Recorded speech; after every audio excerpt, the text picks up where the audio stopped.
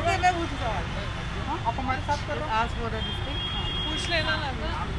To C you दीदी जी सबसे पहले तो बताइए कि मिठाई की दुकान पर आप आई हैं मिठाई के बॉक्सेस भी हैं तो आप बताइए कि ये कौन से festival I think Christmas is just yes बिल्कुल। यू नो आई थिंक कोई भी फेस्टिवल क्यों ना हो मीठा खाना बहुत ज़रूरी है।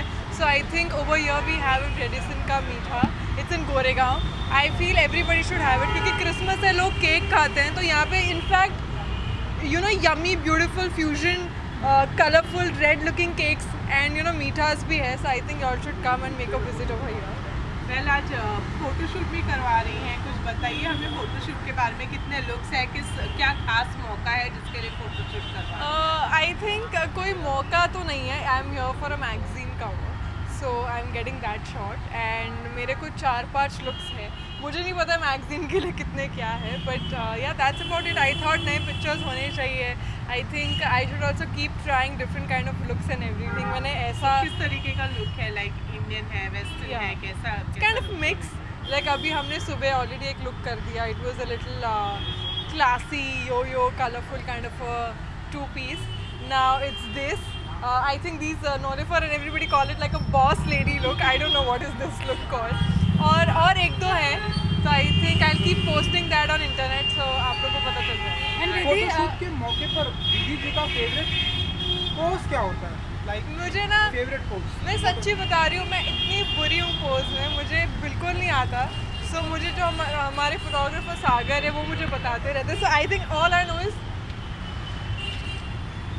ये बस ये यही सब मैं करते रहती हूँ मुझे क्योंकि आता नहीं है।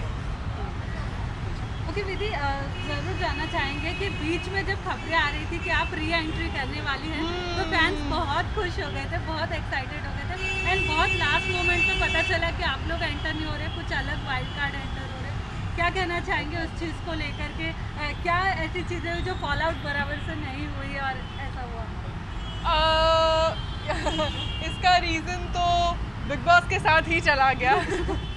मैं नहीं बता सकती कि क्या चीज़ें थी but definitely the news were right we वो I mean I was about to enter लेकिन कुछ चीज़ ऐसी हो गई कि अभी मैं बिग बॉस के अंदर नहीं बल्कि गोरेगांव का मीठा के बाहर खड़ी हूँ।